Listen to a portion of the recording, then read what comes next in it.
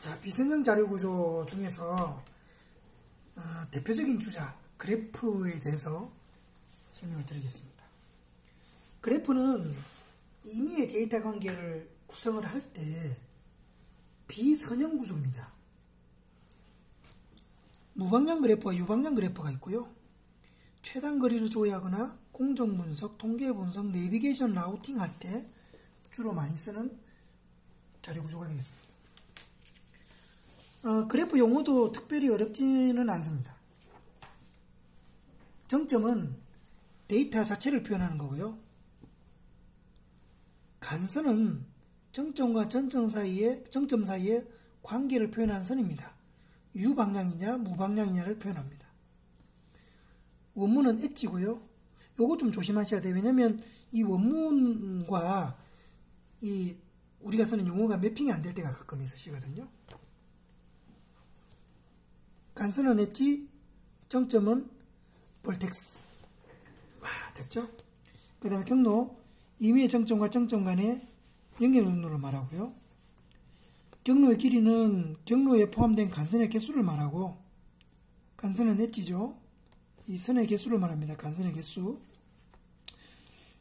단순 경로는 시작 정점과 종료 정점 사이에 중복이 없는 경로를 말합니다. 패스. 사이클은 종료 정점과 시작 정점이 같은 경우가 두 개 이상 발생하는 경로를 사이클이라고 합니다.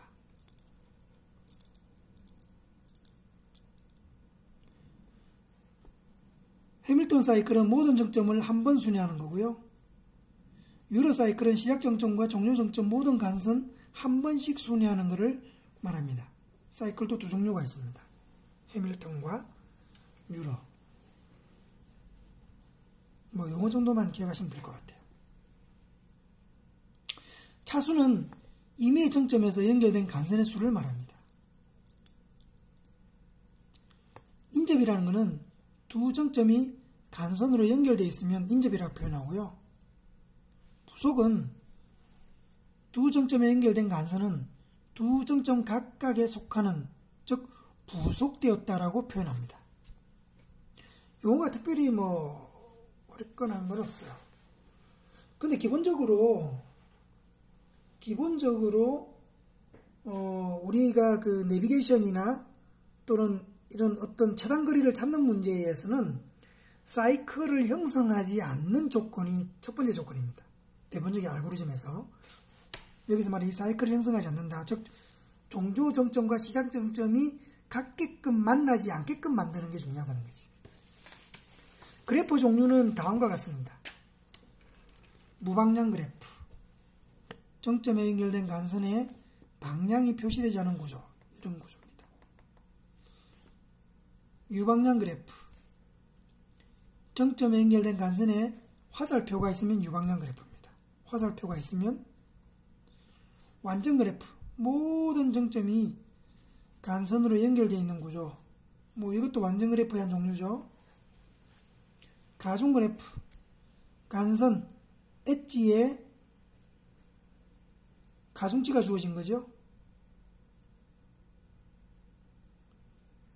신장 트리와 최소 비용 신장 트리는 임의의 그래프에서 모든 정점을 순회하면서 좀 전에 설명드린 것처럼 사이클을 형성하지 않는 조건으로 모든 정점을 순회하는 그 구조를 신장 트리라고 표현하고요.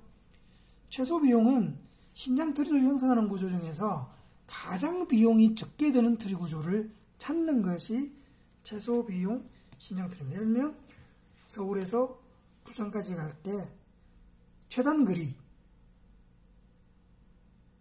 단 최단 거리를 찾는데 내가 필요한 각 지역을 순회를 하자는 거죠. 이해하셨죠?